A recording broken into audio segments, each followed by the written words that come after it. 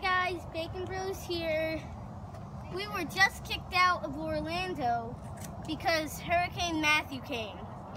And So- our flight was canceled. Now we're at Grandmom's house and we Great decided to go on a ah, nature hunt.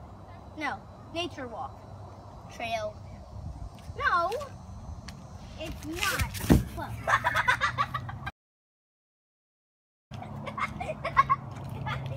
You there. It's gross. I think it's pretty. I it's love it. pretty, That's- but it's gross. It's pretty.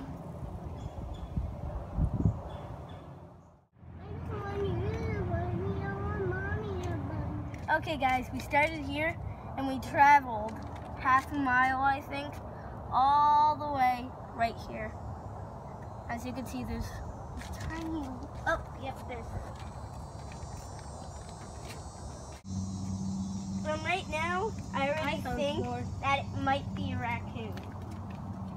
Let's see. So, I'm not a picky eater. I eat eggs, fish, insects, berries, and more. My nimble little hands help me collect food. I have a masked face and ring tail for camouflage. It's raccoon.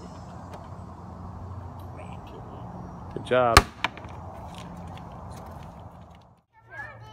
I have a keen sense of smell that helps me find food.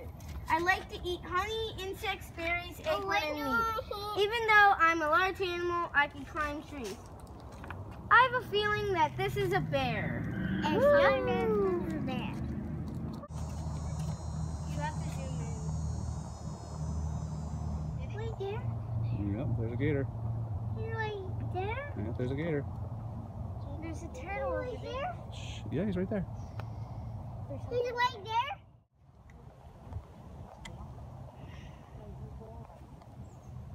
I fell off.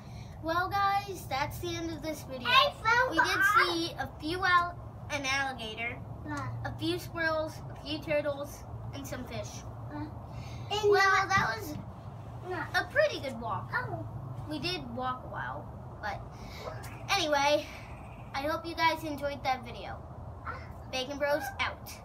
I knew there are two massive crickets on each other. I knew it was And they are alive. Oh, yeah. I think they're mating, guys. Well, some people talk about the birds and the bees. You talk about the grasshoppers.